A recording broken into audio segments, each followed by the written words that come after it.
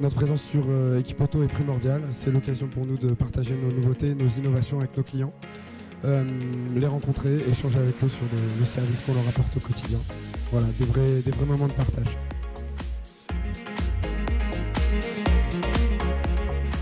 Donc notre présence au salon, bien évidemment, nous permet de euh, vous présenter euh, nos dernières innovations, d'échanger avec vous distributeurs, avec vos réparateurs, pour avoir vos retours terrain, pour déterminer les éléments qui nous permettent de vous offrir le bon produit au bon moment avec la bonne disponibilité.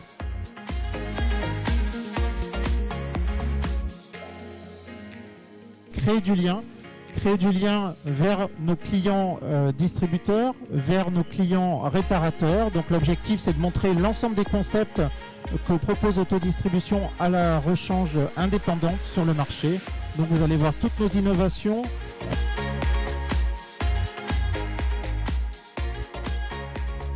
Proximité avec l'ensemble des acteurs de la chaîne de valeur de la rechange automobile, c'est la raison de notre présence à Equipoto. Et nous l'illustrons par ce showroom itinérant, le Valais On Tour.